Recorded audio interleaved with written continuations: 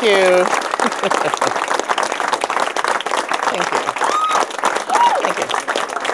I have I have never seen CCHQ so full on a Saturday morning. it's Saturday and you're all here. This is absolutely fantastic. This has not been the easiest campaign for all of us. It took a lot of guts and a lot of courage for us to stick to the fact that we needed to renew before we started having a new manifesto for the next election.